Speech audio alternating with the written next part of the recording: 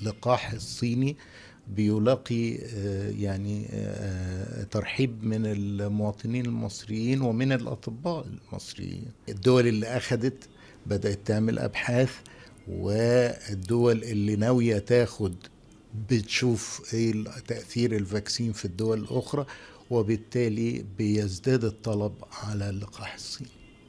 بكين منحت القاهرة 600 ألف جرعة من اللقاحات فيما اتفقت مصر على التعاون مع شركة سينوفاك الصينية لتصنيع لقاحها. الحكومة المصرية الحكومة الصينية في بينهم تعاون مشترك بقى لهم فترة طويلة شوية على المستوى الطبي وعلى المستوى الصحي. في تعاون بدأ طبعا من بداية الأزمة نفسها وفي تواصل مشترك سواء كان في خلال أبحاث أو من خلال تداول المستلزمات الطبية وحاجات بالشكل ده.